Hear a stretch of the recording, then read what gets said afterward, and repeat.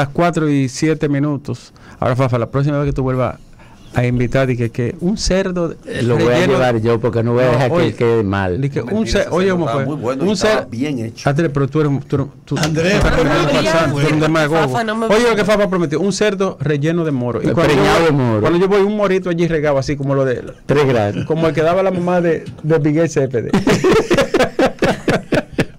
que los granitos se caían tres mocas rondando así que parecían tres avioncitos arriba. Uh, y dos pedacitos de puerco, un pedazo de oreja y un hociquito de un lado. Digo, pues, y, y, ese es el cerdo. ¿Quién se comió el cerdo? Digo, papá, y ese no es el cerdo relleno de, de moro. Dice, papá, no, que hubo un inconveniente, una visita que vino adelante. Digo, no, no, no, tú te equivocaste. Yo ando con mi esposa un traje nuevo. Sí. A las 4 y 8 minutos, don Fafa Taveras. Este programa es una muestra de con qué ánimo y espíritu recibimos el año nuevo. Me ha gustado mucho por el ambiente general, sin apartarse del análisis objetivo de las cosas. Porque la referencia que se ha hecho aquí a las actividades tendentes a producir una indagatoria, una investigación, un examen de la infraestructura que soportará el proceso electoral, es una muestra de las terribles inquietudes y preocupaciones que existen aquí. Y yo quiero agregar a esas dos intervenciones de Leila y de Andrés el problema de la situación económica. Miren, en un programa especial, invitando a economistas muy reconocidos, que fue para pasar balance al, al último año, y estaban presentes Miguel Seara, Ernesto Selman y el exministro de Economía Isidoro Santana. Un programa dirigido por Juan Bolívar Díaz y por Adalberto Grullón, para hablar de la situación económica del país. Y entre los temas tratados hubo un balance coincidente, todos ellos, en la debilidad institucional de todo el país. Es decir, en partir del hecho que la institucionalidad en general no puede ignorarse lo que tiene que ver con la desgraciada situación de la economía. Y en ese orden de la institucionalidad en bancarrota, se ahondaron hasta niveles peligrosos durante el 2019 esa debilidad. Y la ausencia de transparencia en el uso de los fondos públicos es inocultable y cada vez peor. Y en sus reportes estadísticos se pretende, por ejemplo, no ver el verdadero déficit fiscal para el año concluido, que anda por los alrededores de 160 mil millones de pesos y que sin embargo el gobierno lo estimó y sus voceros lo hicieron en 75 mil, es decir, un déficit el doble de lo que aparece cargado a cuenta de la aprobación del presupuesto de hoy. Y entonces, votar anualmente una ley de presupuesto general del Estado, así como aprobarlo, rechazarlo, es función del Congreso frente al Poder Ejecutivo. Sin embargo, el Congreso pasó esas cosas sin cuestionarla y con el descaro, porque no tienen vergüenza como colectivo, encubriendo la mitad del déficit que aprobaron, encubriéndolo.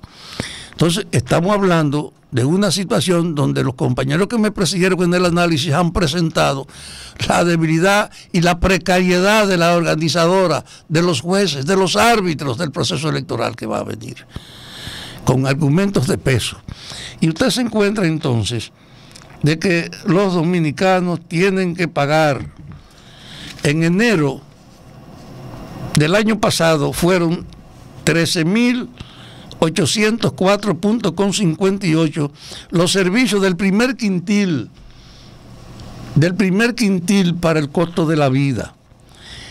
Y en noviembre, en noviembre, eso que comenzó en 13.804 subió a 14.465,40, una alza de 600 pesos con 88 un 4 o 7% más de lo que representó el mayor incremento porcentual de todos los otros quintiles.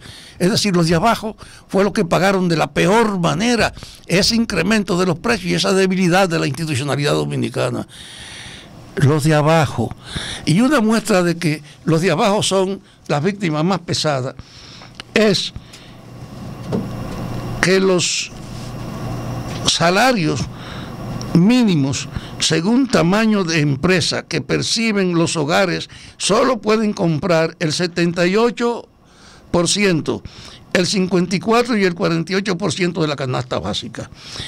Ustedes no pueden ignorar entonces que un país que tiene una conducta con esa característica dual, de que el gobierno para justificar su permanencia es capaz de propiciar hasta el encubrimiento de los reclamos de legalización de sus préstamos y solo presentando la mitad de lo que realmente se aprobó.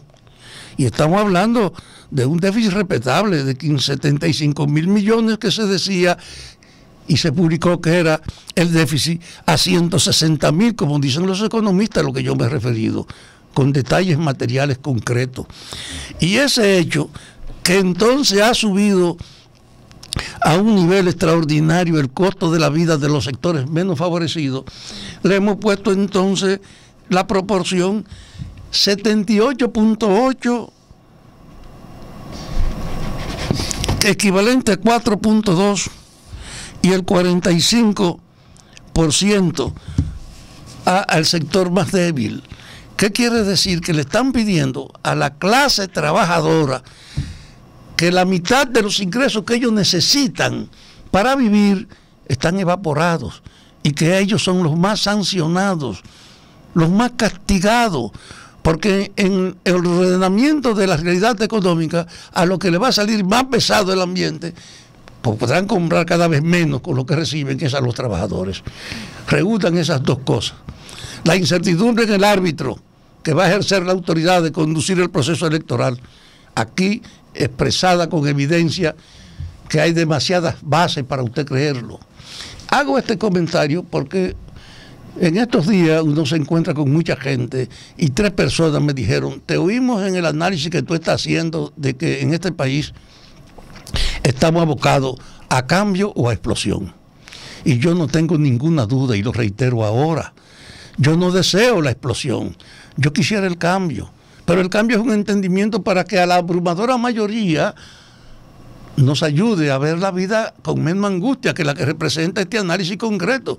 Cada vez más déficit y cada vez peor las condiciones de vida para los que trabajan, que son las fuerzas de la sociedad. En un cuadro de esa naturaleza no hay duda. Cambio o explosión